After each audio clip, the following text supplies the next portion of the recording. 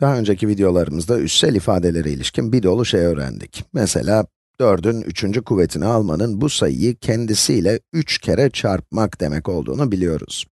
4 üzeri 3 eşittir 4 çarpı 4 çarpı 4 demek.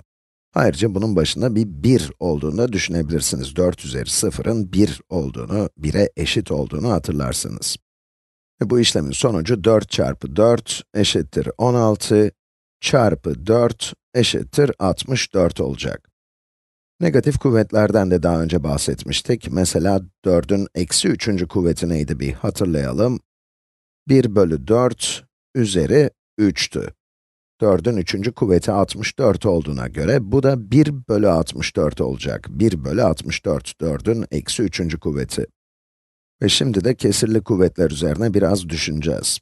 4 üzeri 1 bölü 2 nedir? İsterseniz burada videoyu durdurun ve bunun üzerine biraz düşünün. Burada kullanılan matematiksel tanım, üssü 1 bölü 2'nin yani üzeri 1 bölü 2'nin 1 bölü 2. kuvvetinin o sayının kare kökünü almakla aynı şey olduğu.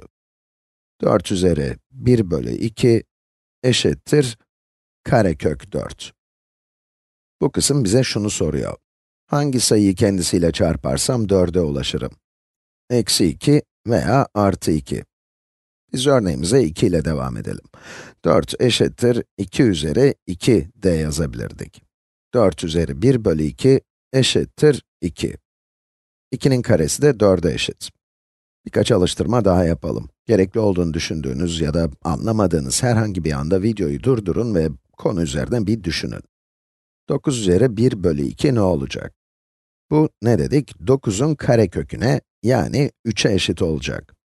9 eşittir 3'ün karesi de yazıyor olabiliriz. Bunların her ikisi de doğru ifadeler. Bir örnek daha yapalım. 25 üzeri 1 bölü 2. 25 üzeri 1 bölü 2 nedir? 5 kere 5, 25.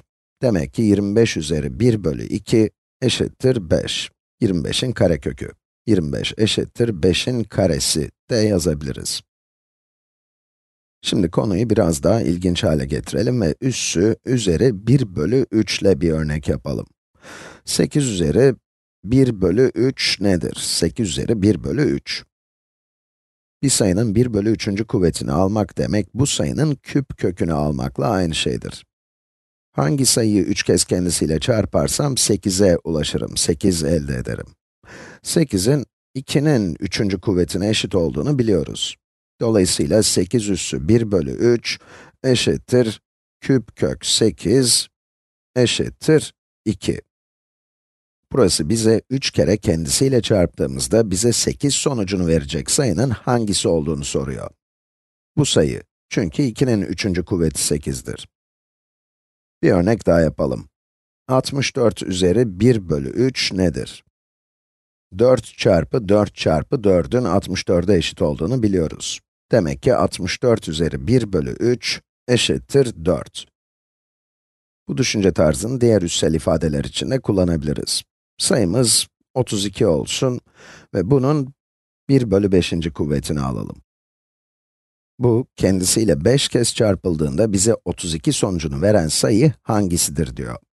32'nin 2 çarpı 2 çarpı 2 çarpı 2 çarpı 2 olduğunu biliyoruz. Yani kendisiyle 5 kere çarpıldığında 32 sonucunu veren sayı 2'dir. O zaman burası eşittir 2 olacak. Tabii aynı şekilde 32 eşittir 2'nin 5. kuvveti de yazabiliriz. Hepsi bu kadar.